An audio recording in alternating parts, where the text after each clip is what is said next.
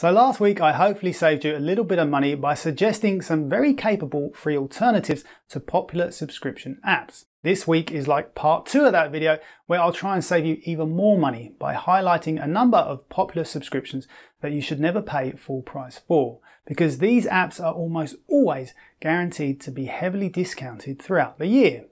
The first of these is for any of the Amazon subscriptions like Audible, Kindle Unlimited and Amazon Prime. Amazon are always offering discounts on their subscription services. The secret to getting the best price is to sign up to the free trial, cancel the trial before it expires, and then simply wait. When you sign up for any of these free trials, you'll immediately get 30 days free access. You then need to do two things. Firstly, set a reminder to cancel the free trial a day or two before it's due to expire. Then make sure you're on the email list to receive all of their promotional emails.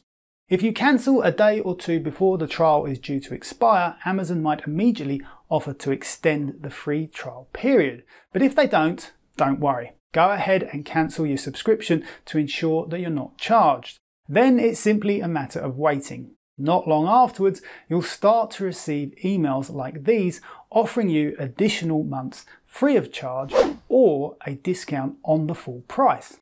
Take up the offer and then it's just a matter of rinse and repeat. Cancel the offer before it's due to expire and then wait for the next email to drop into your inbox. If you follow this process, yes, you are going to miss out on a few weeks where you don't have access to your subscription, but in the long run, you're going to save yourself a fortune.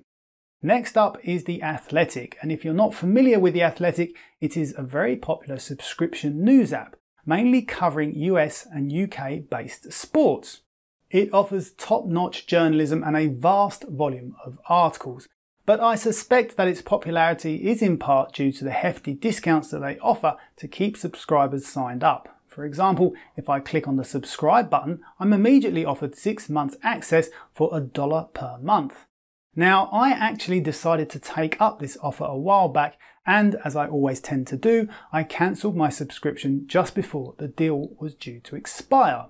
I think it was then literally only a day or two later that I received this email offering me 50% off the normal price. Now that is a pretty good deal, but I decided not to buy it and wait it out a little bit longer. And sure as eggs, the Athletic came back with an even better deal, now offering 70% off the normal price, which of course I accepted and signed up for another year at a bargain discount. Another app that you definitely don't need to pay full price for is Microsoft Office.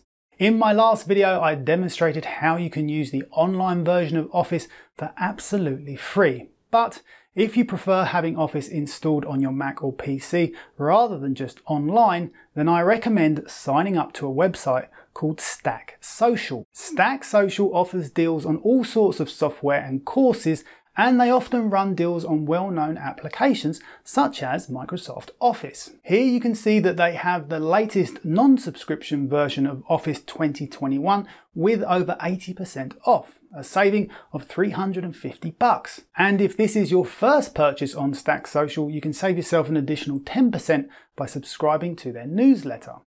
Just as an aside, if you are a Gmail user, you can put a plus sign followed by a descriptor in your email address and then filter out these type of emails from your inbox. So because I sign up to loads of these discount websites, I add the plus symbol followed by the name of the website to my email address. So now when I receive one of these emails from Stack Social, you can see that my email address includes the plus Stack Social. I then copy the address, choose filter messages like these, delete the text that Google has added and paste my email address into the to field. I then create the filter, set these emails to skip the inbox, apply a new label to them and then finally apply the filter on all my existing mail. And there you go. These emails will now sit nicely under a label without cluttering up your inbox. If you enjoy reading and listening to book summaries, then another app that you don't need to pay full price for is Blinkist. I have been a subscriber to Blinkist on and off for many years, depending on whether they can entice me back with a solid discount like this one for 50% off. The secret of Blinkist is to sign up via their website, not via their mobile app.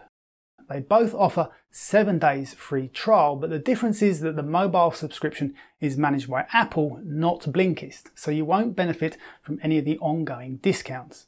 In the mobile app, after the trial ends, you either pay the full price or you cancel. That's it. But if you sign up via the website, like with Amazon, you'll receive lots of emails like these, and they might also offer you an immediate discount upon cancelling the trial. Blinkist is a great little app and in my opinion probably the best of the book summary apps available. However, if we hop back over to Stack Social, there are others that you can pick up even cheaper, such as 12 Minutes that is offering a lifetime subscription for 40 bucks and Flashbooks who are offering lifetime subscription for 100 bucks. Another app that I often jump in and out of when there's a deal on is Headspace. Headspace is a meditation and relaxation app that is just great for helping you unwind after a stressful day. I actually think the full price subscription is very reasonable at just under $6 a month if you sign up for a year, but of course it's included on this list because you can get it even cheaper.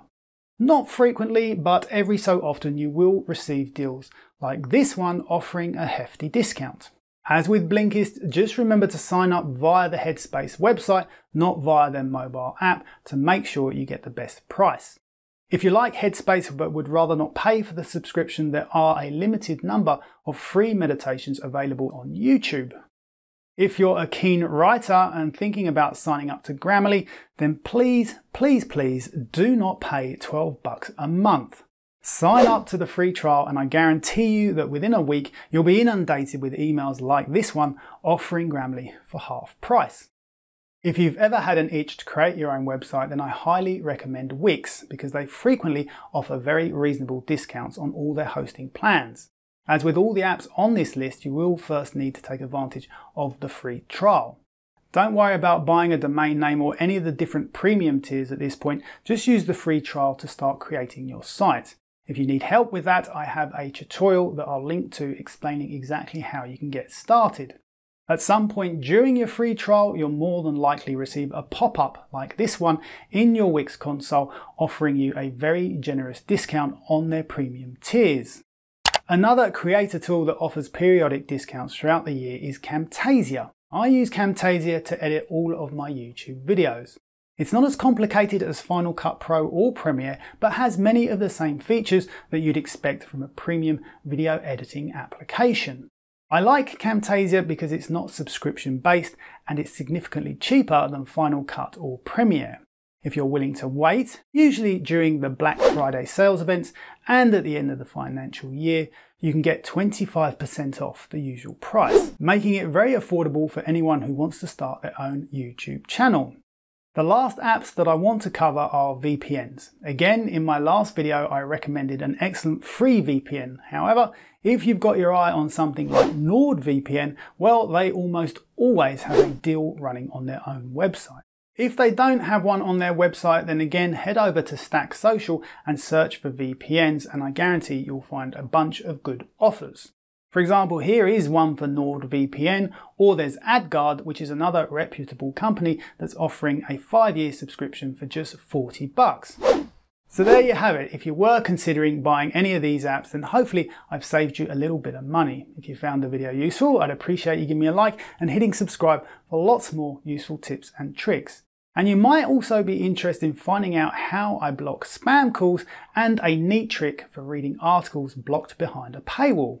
Until next time, my name is Anthony. Thank you very much for watching.